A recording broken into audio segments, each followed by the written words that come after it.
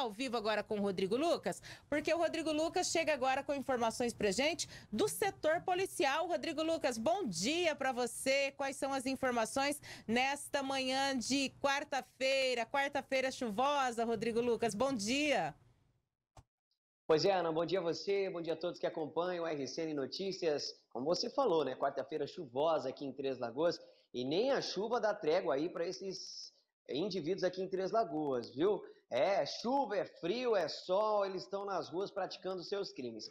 Olha só, por falar em ocorrências policiais, ontem a polícia estava fazendo uma ronda ali próximo à rodoviária aqui de Três Lagoas, quando foi acionada por um senhor. O que, que aconteceu? Ele disse aos policiais que ele estava caminhando ali nas intermediações da rodoviária quando ele foi abordado por uma moça que pediu para ele uma certa quantia em dinheiro. Ele foi lá, deu essa quantia em dinheiro para essa moça. Quando ele caminhou um pouquinho mais, ele percebeu que já não estava mais com o seu celular. Ele falou: Não, mas eu estava com o celular no meu bolso, agora o celular não está aqui. Ele decidiu voltar e abordar essa moça ali na praça da rodoviária. Quando ele abordou ela, perguntou: Olha, você, por acaso, você ficou com o meu celular? Você pegou o meu celular? A moça falou: Não, não peguei não.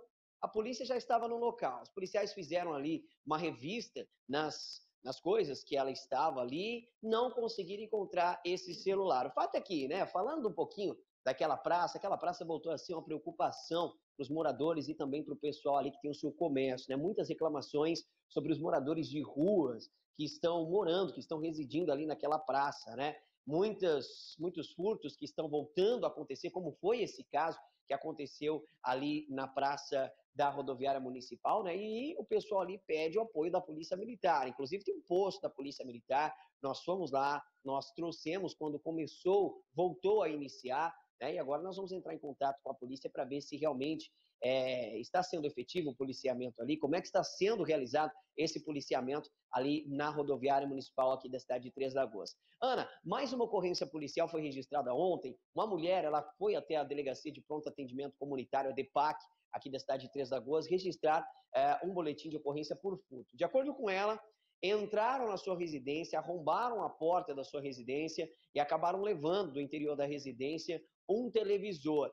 Ela disse a, a dona, porque ela é inquilina, né? Ela disse à dona que o outro inquilino, ou seja, o inquilino que estava morando antes dela, tinha dito que iria entrar na residência um dia. Então, eles estão desconfiados que possivelmente possa ser esse inquilino. A polícia, então, é, vai levantar todas essas informações e vai tentar, então, entrar em contato com esse inquilino para saber realmente se foi ele ou se não foi. O fato é que foi roubado um televisor, furtado, na verdade, esse televisor de dentro da residência e agora a polícia tenta localizar esse televisor. Ana, essas são algumas das informações do setor policial que eu trago aqui para o RCN Notícias. Logo mais, o Pulseiro de Prata, muito mais informações aqui da nossa região, do setor policial, para você que acompanha a TVC e para você também que acompanha a Cultura FM 106,5. Eu volto com você ao estúdio.